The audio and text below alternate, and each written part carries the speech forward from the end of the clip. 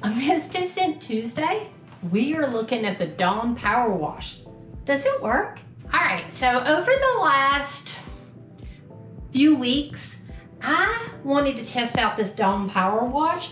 I have seen so many TikTok videos and Facebook ads and just people talking about it. And I thought, I wanna try it out for myself to see if it's any good. I was really impressed with this.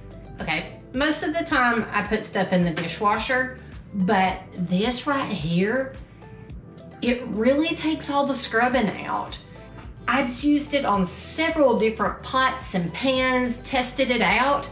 You just spray it on, let it sit for about, I typically set for 20 to 30 minutes.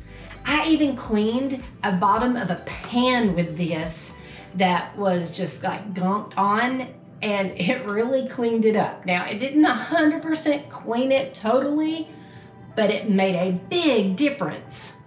And it's not just for dishes. I have watched videos and saw stuff and read stuff and people are using this on their shower doors to get the gum off. They use it in the showers to get stains out of things. They, everybody swears that it works. Now I have used it on my stove top.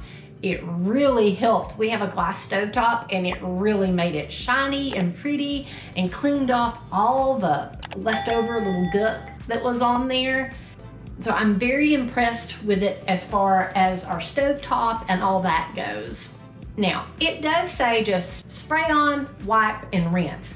I still, on some of the spots, I still had to scrub a little bit, but nothing like it would have been if I hadn't have used this. If you were looking, maybe thinking about trying the Dawn Power Wash, go try it out. I think it's worth the hype.